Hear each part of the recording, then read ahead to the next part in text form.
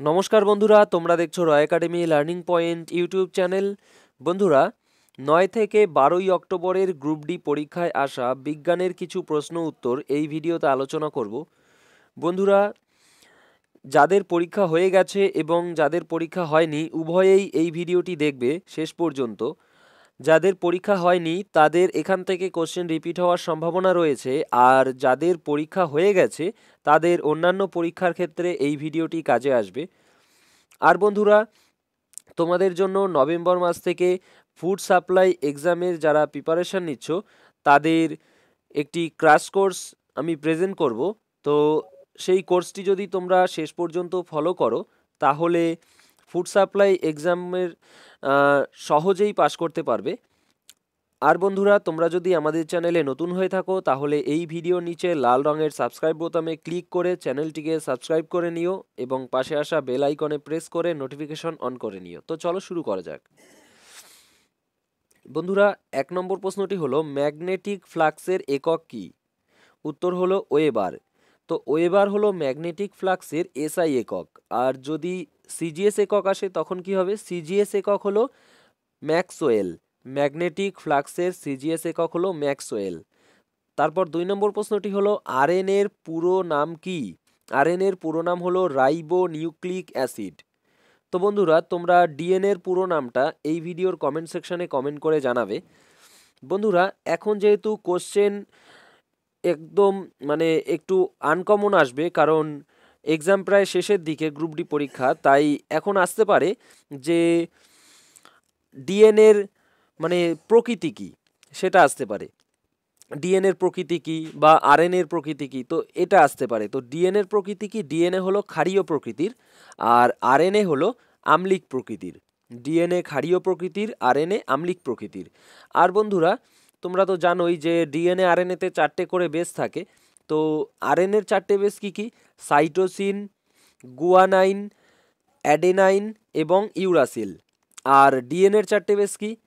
Adenine, guanine, cytosine আর thymine. মানে আর আরএনএতে থাকে ইউরাসিল আর ডিএনএতে থাকে থাইমিন, এটা মনে রাখবে। এরপর বন্ধুরা তিন নম্বর প্রশ্নটি হলো, সোডিয়াম কার্বোনেটের মৌল, মৌলে সোডিয়ামের যোজ্যতা কত? সোডিয়ামের যোজ্যতা হলো এক। তারপর বন্ধুরা, ফসফরাসের পারমাণবিক সংখ্যা কত? পনেরো। তারপরে রয়েছে, সালফারের পারমাণবিক সংখ্যা কত? ষোলো।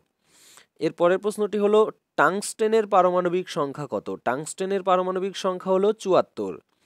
তারপর, ক্লোরিনের আণবিক ভর কত? পঁয়ত্রিশ দশমিক ফোর ফাইভ থ্রি, পঁয়ত্রিশ দশমিক চারশো তিপ্পান্ন প্রায়।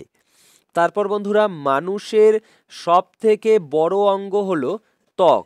আর যদি অন্তস্থ বলে, তখন কি হবে? যকৃত তারপর বন্ধুরা, ফিউজ তার কি দিয়ে তৈরি?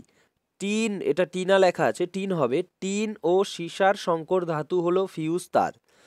তারপরের প্রশ্নটি হলো তরণের এসআই একক কি? তরণের এসআই একক মিটার পার সেকেন্ড স্কয়ার। তারপরের প্রশ্নটি হলো, তড়িৎ প্রবাহের এসআই একক কি? অ্যাম্পিয়ার। এরপরে রয়েছে, বলের এসআই একক কি? নিউটন। তারপরে কার্যের এসআই একক কি? জুল। তো এসআই একক এবার আসার সম্ভাবনা খুব কম, কারণ এখন কোশ্চেনের লেভেল একটু হাই হবে, তাই সেই কারণে এই সব কোশ্চেন আসার সম্ভাবনা খুব কম। আর বন্ধুরা, তোমাদের জন্য আমি ধাতু এবং অধাতু অধ্যায়ের কিছু কোশ্চেন আপলোড করব। সেই কোশ্চেনগুলি এমন কোশ্চেন আপলোড করব যেগুলি প্রায়ই আসে, অথচ ক্যান্ডিডেটসরা কোশ্চেনগুলি অ্যাটেন্ড করতে পারে না মানে আনসার করে আসতে পারে না। সেই টাইপের কিছু কোশ্চেন মানে ইম্পর্টেন্ট ইম্পর্টেন্ট দেখে কোশ্চেন আমি বেছে নিয়েছি, সেগুলিকে আমি ভিডিওর মাধ্যমে তোমাদের সামনে প্রেজেন্ট করব। তো সেই ভিডিওটিও তোমরা দেখে নিও। আর বন্ধুরা, এই ভিডিওটি ভালো লাগলে অবশ্যই লাইক করে দিও। তো পরের প্রশ্নটি হলো সিএনজি এর পুরো নাম কি? সিএনজি এর পুরো নাম কম্প্রেসড ন্যাচারাল গ্যাস তারপর কোন মৌলের পারমাণবিক সংখ্যা কুড়ি? ক্যালসিয়ামের পারমাণবিক সংখ্যা কুড়ি। তারপরে রয়েছে বেঞ্জিনের সংকেত কি? বেঞ্জিনের সংকেত হলো সি সিক্স এইচ সিক্স।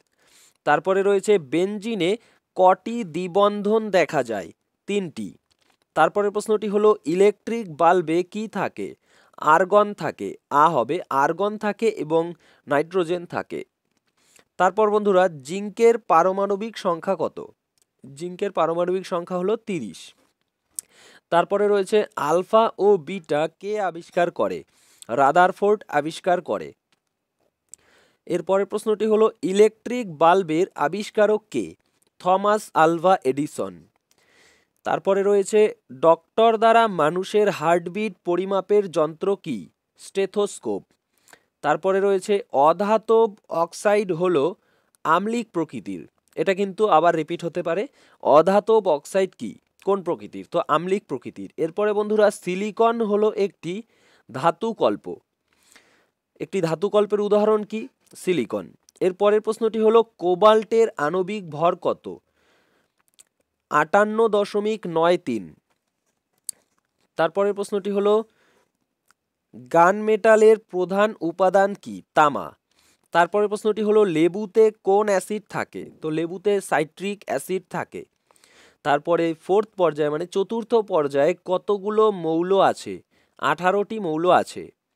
এরপরের প্রশ্নটি হলো, ইথানোইক অ্যাসিডের কার্যকরী গ্রুপ কোনটি? C double H group. তারপরের প্রশ্নটি হলো, অ্যানিমোমিটার কি পরিমাপ করে? মানে বাতাসের বেগ পরিমাপ করে হলো অ্যানিমোমিটার, ঠিক আছে? এর পরের প্রশ্নটি হলো, ইউরিয়া রাসায়নিক সংকেত কি? NH two, CO, NH two, হলো ইউরিয়া রাসায়নিক সংকেত। তারপরের প্রশ্নটি হলো, ক্যালসিয়ামের যোজ্যতা কত? ক্যালসিয়ামের যোজ্যতা হলো দুই। পরের প্রশ্নটি হলো, আত্মঘাতী থলি কাকে বলে? লাইসোজোমকে আত্মঘাতী থলি বলে।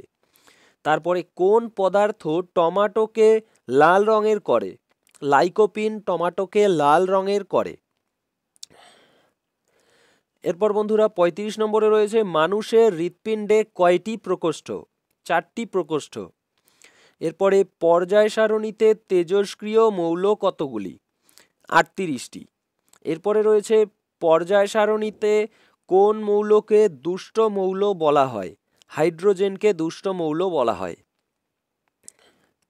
ইজি কোশ্চেন যদি জানা থাকে, পুরোটা শেষ পর্যন্ত দেখলে কি হবে রিভিশন হয়ে যাবে? আর কখনো প্র্যাকটিস ছাড়বে না মানে চর্চা করা ছাড়বে না রিভিশন দেবে যত পারবে।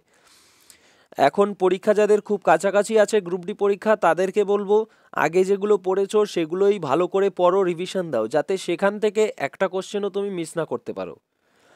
এরপরে রয়েছে ইলেকট্রন বিন্যাসে দুই আট সাত কোন গ্রুপের? ইলেকট্রন বিন্যাস দুই আট সাত কোন গ্রুপের? তো সেভেন্টিন্থ গ্রুপের, আর সেটা কোন মৌলের? ক্লোরিন মৌলের। এরপরে ব্যাঙের হৃৎপিণ্ডের প্রকোষ্ঠ সংখ্যা কয়টি? তিনটি। কুমিরের হৃৎপিণ্ডের কতগুলি প্রকোষ্ঠ? চারটি। তারপরে রয়েছে নব্বই গ্রাম জল সমান সমান কত মোল? পাঁচ মোল হলো নব্বই গ্রাম জল। এরপর বন্ধুরা বিয়াল্লিশ নম্বর প্রশ্নটি হলো আর ইকুয়াল টু তিনশো পঞ্চাশ ওহম ভি ইকুয়াল টু দুশো কুড়ি ভি তাহলে আই ইকুয়াল টু কত? তো আই ইকুয়াল টু হবে দুশো কুড়ি বাই তিনশো পঞ্চাশ, ঠিক আছে? মানে আই সমান সমান হয় ভি বাই আর তাই দুশো কুড়ি বাই তিনশো পঞ্চাশ।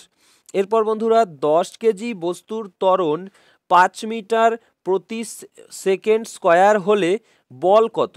বল হলো পঞ্চাশ নিউটন। মানে বল হলো ত্বরণের সঙ্গে এই বস্তুর এই ওজনটাকে কি করতে হবে? গুণ করতে হবে।